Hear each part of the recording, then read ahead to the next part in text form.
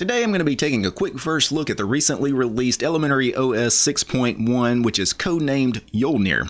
Now I took a look at the previous version, 6.0, codenamed Odin, uh, when it was released about four months ago. And I gotta be honest, I was a little disappointed in the Odin release because I'm a big fan of Elementary OS, big proponent, I'm one of their Patreon supporters, and I've installed Elementary OS on many machines, uh, friends and family machines, you know, they bring me their computers, I put Elementary on those machines, and they always love it. And I never hear any negatives about it. And I really think that Elementary OS as a project is doing interesting things. They're they're doing different things and they're really advancing Linux on the desktop. They're one of the projects that I think has a real opportunity to actually bring desktop Linux to the masses. And that's why I was a little disappointed in the 6.0 release because I thought it took a little bit of a step back, wasn't nearly as polished and well refined. And I'm hoping that the 6.1 release will address some of those issues I had with the previous version. So let me switch over to my desktop where I've installed Elementary OS inside a virtual machine. The installation process is very simple. You click OK three or four times and you're done in about 10 minutes. If you've seen one Linux installation. You've seen them all. Linux, for the most part, desktop Linux distributions are very quick and easy to install. Now, my biggest complaint with the previous version of Elementary OS, not just my biggest complaint, but I think most people's biggest complaint, was the App Center. So, the App Center didn't have any apps in it the last time I took a look at it. You know, you click on the home page, and the last time I took a look at this thing, it was like there was nothing here. There were no apps. And uh, looking at this one, it's taking a minute for some of the images to load. That's, you know, not necessarily the App Center's fault. That's probably a internet situation. I wonder if I closed it and relaunched it because it's i'm sure downloading all of this from the internet right? It's essentially probably like a, a web front end. Yeah and now it looks just fine. Yeah just a, a little glitch that first time i took a look at it. But now there's at least some applications here. Not many. There's a curated list of a little over 90 applications. And the reason it's such a small curated list is just the way elementary does things. Elementary goes their own way. They have their own desktop environment, what we're looking at here, this Pantheon desktop environment. And, you know, because Elementary is kind of almost Mac like as far as it's a walled garden, they're very stingy, for example, on what goes in this App Center. You know, they just won't list everything that's available in the Ubuntu repositories, the Debian repositories.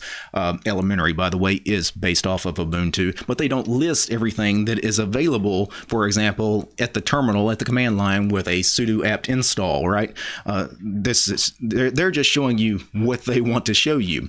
And one of the things is if I search for really popular free and open source programs like GIMP, you know, no app found, right? LibreOffice, again, won't be found. There a lot of the standard stuff you expect to be available for installation is not here, at least in the App Center, which because of the people that Elementary OS is geared for probably new users. That's typically who I put on Elementary OS. I install this on people that really are not technically savvy, right? I give them Elementary OS because it's so darn easy to use. But if these kinds of people actually don't need to have an empty software center, right? Because they're not going to go to the command line to find software. They're also not going to sideload a Flatpak, which is what it tells us to do when I search for GIMP. It says try changing the search terms, or you could also sideload Flatpak apps from FlatHub. Now, if you're putting this on elderly parents or grandparents' machines, they're not going to know what any of that meant, right? Sideload, Flatpak, FlatHub, what do those terms even mean? Well, at least they link to FlatHub. So if I clicked on it, and this is good that they do this. It actually searches for GIMP on FlatHub for you. And then if you click on GIMP, and there is a install button here. So I, I won't say this is impossible for a brand new user to figure out. You click install. Now, once you click install, this is where it gets a little weird. Okay, now what? Because it doesn't actually install the program. It downloaded the uh, Flatpak ref file. But if I click on it, install untrusted app, then you, you get a, a dialog box that's actually telling us, hey, do you want to install this? It's going to tell you that there's some risk. I understand. Install anyway. And then it installs GIMP as a Flatpak. Now, the great thing about this is after you do this one time in the App Center, then what it does is it actually adds the FlatHub repository to the App Center. So now no longer you're only going to have 90 apps in the App Center. Now everything that's available on FlatHub will also be in the App Center. My problem with this is why isn't FlatHub just linked to the App Center out of the box. It just should be because it looks like Elementary OS is a big proponent of Flatpak. They think Flatpak is the future as far as Linux packaging formats, which is fine. But if that is your stance, then just have all the Flatpaks in the App Center out of the box. It's just, I find this tedious. Not tedious for somebody like me, but for a newer to Linux user. Again, if we're actually trying to convert the masses to desktop Linux, they're going to find that was a little tedious. So let me close out the Epiphany browser. Now, if I go to installed, let me see if I search for GIMP. Well, I can't search the installed list. Can I just search through the list? Yeah. So GIMP is here. Uh, clicked on the wrong thing. Uh, yeah, GIMP. And we could uninstall it now. And you can see it's non-curated. Non-curated means it's a Flatpak. So let's close that out. I'm going to hit the super key. The super key uh, just brings up the shortcuts. If I hold the super key, I thought it would bring up the menu. I guess I'm sure there's a hotkey to bring up the menu. I just don't remember it off the top of my head, but there is GIMP. GIMP 2.10, and the Flatpak looks like it's going to open just fine. Yeah.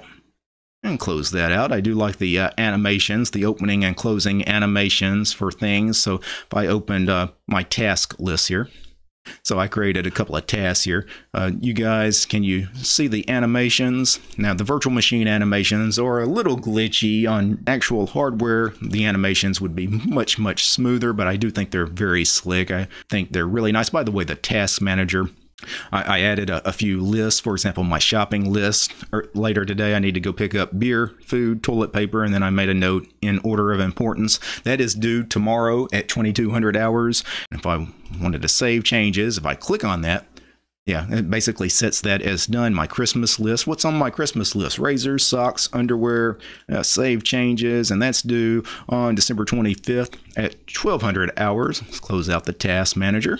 Going to go back to this App Center one more time now that we've actually got the FlatHub situation straight. Now, if I go into games, for example, will there actually be uh, games here? Yeah, we have the paid apps, which are uh, curated apps, but these are asking for payment here. We have free apps. Again, these are the curated apps from Elementary. So they only had four games here, but now because we have the FlatHub enabled, We've got a million more games available for us. For example, if I wanted Zero AD, we could install Zero AD. I'm not going to install Zero AD though on camera here because it's a rather large download. It's a rather big game. I do like what they've done now though. There's a lot more information when you click on an app. Now you get more information as far as uh, they give you information whether it's a Flatpak or not, non-curated. Tells us the game has some violence in it. There's multiplayer, online interaction, yada yada yada. We even have a nice little screenshot, a description. We get the licensing information and and uh, the homepage for Zero AD, etc. So that is actually a nice touch. One of my other complaints with the recent versions of Elementary is the uh, light mode and the dark mode. Is sometimes when you set them, you know, many applications just don't respect it. You'll have this weird mix of applications that are using a dark theme and some using a light theme, and, and that's never a good look. If I go to applications, you can see there's our default applications. Let me go to uh, desktop here, go to appearance, and let's go ahead and enable the dark mode.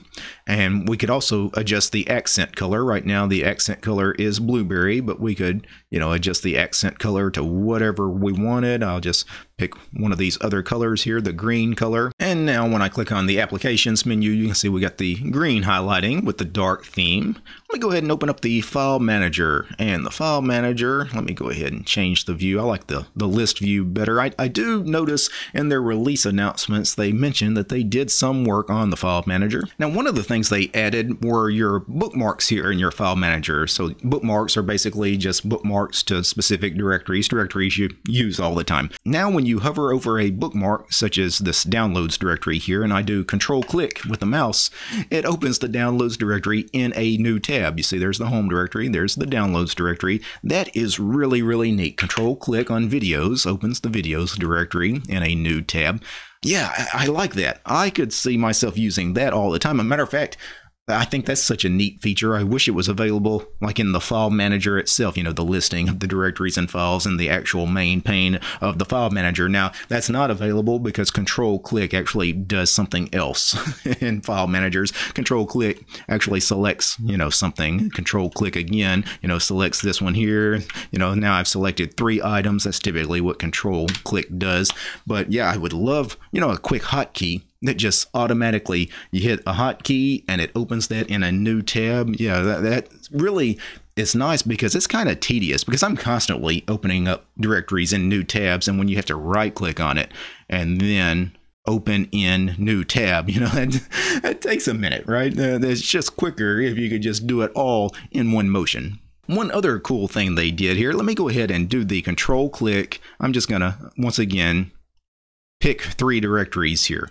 And now when I right click on these, we now have an invert selection, meaning uh, I selected three files, but really I wanted everything but the three files I selected. So we do an invert select and it selects the opposite. That is a really nice feature too, because sometimes, especially in large directories, you know, you want to select everything, but you know, just a couple of files, and it's it would be much quicker to do an inverse selection rather than your, your standard selection. So let me go ahead and close the file manager. Actually, before I close it, I'm going to right click on files down here in the dock, keep in dock. It's kind of strange because there's so few applications installed by default on Elementary, and one of the most important applications is going to be the File Manager. But oddly enough, they don't include the File Manager as one of the default applications in the dock. Uh, I'm going to go ahead and put it down there. In the center of the panel, I click on it, of course, we get our calendar. And of course, you can see December 25th has a dot under it. So this is our task list. If I click on it, you can see there's my Christmas list from the, the task manager. If I go back into the task manager, you see my Christmas list, my wish list, I guess, for Santa. Looking at some of the elementary apps, web, which is the Epiphany web browser, uh, we have a new version of Epiphany. This is Epiphany uh, 41 and w- which corresponds with, of course, the the GNOME applications. They went from version 3.38 now to version 41. And my goodness, is this empty tab uh, distracting? Let me find a dark website to go to. Let's go to distro.tube because I know that that has a dark theme that's a little easier on the eyes. Now, Epiphany is interesting because it's not a normal web browser, right? It's not your standard uh, Chromium browser. It's not your standard Firefox or Brave or anything. And Epiphany uh, is nobody really uses it other than the elementary guys. And I would venture to say probably most people that install elementary OS are going to install another web browser, probably Firefox or Chromium. So it's, it's kind of weird they ship with Epiphany. I'm not going to say it's horrible or that it's unusable, but it's definitely not the greatest web browser out there. Now, one application I do love is the mail client, which is Geary. Geary, I think, is one of the best free and open source email clients out there as far as desktop email. Uh, it has a very clean, modern look. I can't connect to an email uh, account here uh, just for privacy reasons. I, I wouldn't want to show you any of my email accounts, but it has like a, a three columned layout, very modern looking. It's uh, almost Outlook like as far as the layout. You know, you guys have seen the like the three column look of Outlook, or those of you that use the MailSpring email client. Geary has that same kind of look. It's very polished, very clean looking, uh, very easy to configure, and Geary is just a fantastic email client. And that's the task list, which we've already seen a couple of times. The calendar is just uh, instead of the pop-up calendar, this is the actual application. If I click on December 25th, and you know, I don't have the task in this. If I go to manage calendars here on this computer, personal, personal. So I've got personal ticked on. I would assume that would include my, my task list, but it doesn't look like it does. Yeah, that's really strange that the uh, calendar up here in the panel has that information, but the main calendar application, at least I don't think there's any way. It says your upcoming events will be displayed here when you select a date with events. Well, I know the 25th has an event scheduled, yeah, I'm not sure what's going on with that. Moving on to the music application, this is just your standard audio player. It's very iTunes-like, you know, as far as the look. It's got that iTunes kind of look and feel. I don't have any music here to play. I really couldn't play any music on video anyway, unless it was a Creative Commons track just for uh, YouTube is very picky as far as anytime you play audio that you don't own. Uh, the video app, I just clicked on it. You see the, the wheel is spinning. Why is the video application not launching? And then the wheel quit spinning, videos never launched. I'm going to open a terminal. Now, this is, again, as most new users, you know, the kind of people that would typically install Elementary, they're not going to have any idea what to do here. Like this video application, I don't even know what the proper name of it is. I'm assuming, because most of the Elementary apps are installed as a Flatpak, that it's going to be a Flatpak. So if I do Flatpak list, there is videos, and the program name is io.elementary.videos, and it's installed. If I try to run that, uh, tab complete work. Tab complete worked until I got to the videos part.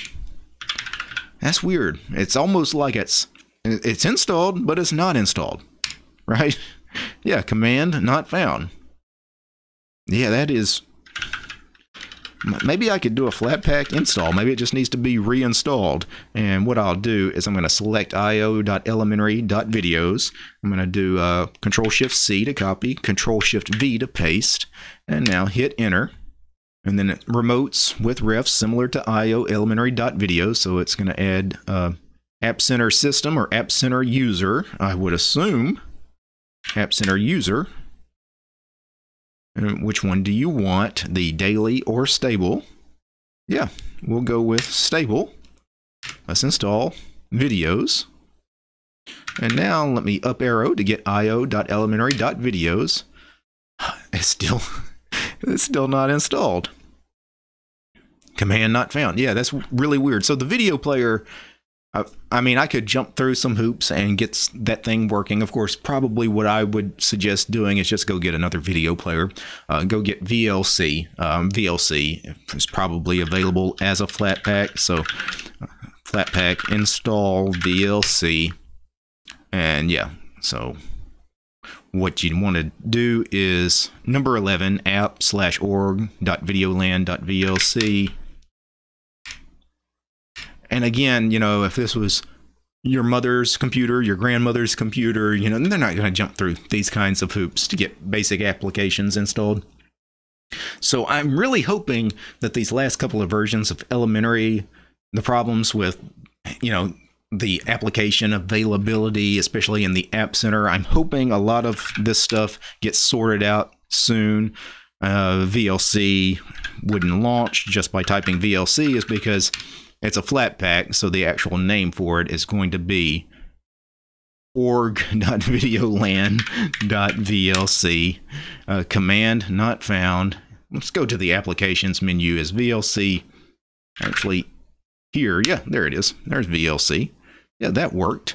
And maybe if I launched the actual videos program now that's still not working, but VLC at least works. And of course, we get the little Christmas time logo. Uh, that's really nice how VLC does that every year around the holidays. Some of the other custom applications include the Photos application. So it's just your standard Photos manager, very similar to the audio player as far as the look and feel. One of the great things about Elementary, as far as their suite of applications, is their uniformity, right? They all do look and function very similar. Uh, some of the applications that are not in the dock, uh, the code editor so this is just your plain text editor and it does not respect the dark theme. And the reason it doesn't is because it actually doesn't use uh, the standard uh, light and dark theme. It actually comes with solarized light or solarized dark.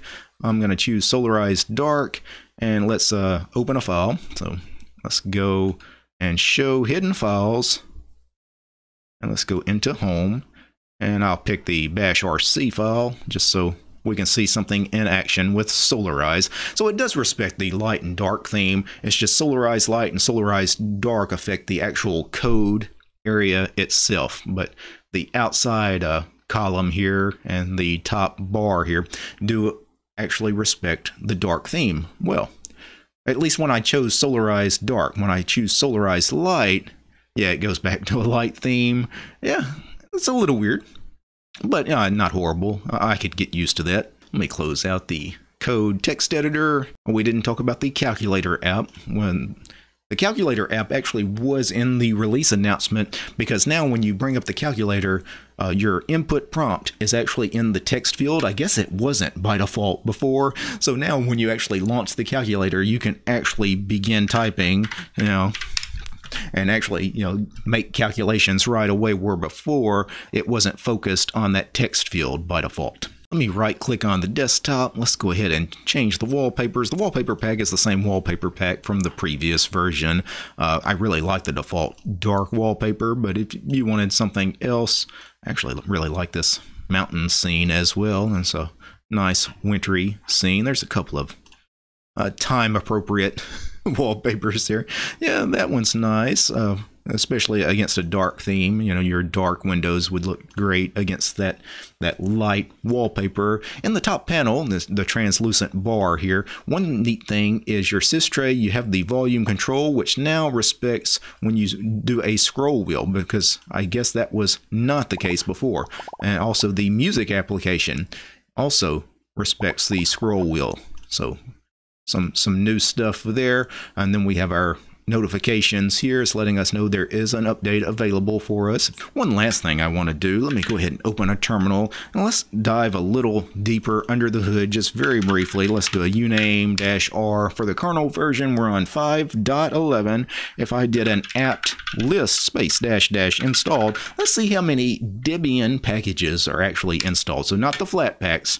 So uh, that lists out everything line by line. Let's do apt list dash dash installed and then Let's pipe that into WC-L. So we have 1,554 uh, deb packages installed. So those were packages installed through the apt package manager. Uh, of course, the Flatpak list is uh, available for you with Flatpak space list. And if you wanted to count on those, once again, pipe that through WC, which is the word count program, space dash L for the line count. 19 Flatpaks are installed. If I run htop, let's see what we're doing with system resources here. A very low CPU usage, which is what you would expect. I'm not doing anything really right now. As far as RAM usage, we're using um, about 1.2 gigabytes of RAM of the 6 gigabytes of RAM I gave this VM. Now that is probably a little high because we've opened a lot of programs here in the last couple of minutes, but that's kind of standard as far as you know one gigabyte of ram is kind of the norm for some of the um, heavier desktop environments out there. So things like you know gnome and uh, cinnamon and budgie and in this case the pantheon desktop it's not unusual for them to to be about a one gig of ram usage on a cold boot. So that was just a very cursory first look at elementary os 6.1 codenamed jolnir and i will say that it's definitely improved here in the last four months. You know, from the previous version, I will say the theming looks a lot better. The dark theming, it looks like most of the applications respected it, with the exception of maybe the uh, text editor code, which is a little weird the way it, it switches from a light GTK theme to a dark GTK theme, depending on whether you choose Solarized Light or Solarized Dark for the actual code uh, syntax highlighting. Uh, that's a uh, again that's a minor gripe, but I will say the App Center. I, I like the fact that it now has some apps in it. I still think that you're asking new users way too much if they have to go to FlatHub and install one Flatpak to have FlatHub actually be a part of the App Center. FlatHub should just be built into the App Center. Uh, I I don't know why they haven't done that yet. Right? It's been two releases now that we've had this problem with that app center. And if if you don't have apps in your app center, you know, new users are not going to know that they can go and install stuff with the apt package manager at the command line or go to flathub and grab some flatpaks or you know go grab some app images or some snaps or uh, build it from source right you know power users know that i know i can get anything i want installed on elementary with a little effort a new user all they're going to know is this is the software center there's nothing in it, right? And then they're going to be put off immediately, not just put off from elementary, they may just be put off from Linux in general if this is their first experience. So the elementary guys, uh, I, again, I think it's a great release. I just, they got to get that app center straight. Now, before I go, I want to thank a few special people. I want to thank the producers of this episode Devin, Gabe, James, Matt, Michael, Mitchell, Paul, Scott, West, Akami, Allen, Linux Ninja, Chuck, Commander Angry, Kurt, Dayokai, David, Dylan, Gregory, Heiko, Koska, Lee, Maxim, Mike, Nitrix, Urian, Alexander, B. Sergeant, Fedor, Polytech, Red, Red Prophet, Stephen, and Willie. These guys, they're my highest tier patrons over on Patreon. Without these guys, this quick first look at Elementary 6.1 wouldn't have been possible. The show is also brought to you by each and every one of these, ladies and gentlemen. All these names you're seeing on the screen right now. These are all my supporters over on Patreon because I don't have any corporate sponsors. I'm just sponsored by you guys, the community. If you like my work and you want to see more great videos on free and open source software, support DistroTube over on Patreon. All right, guys. Peace. And Merry Christmas.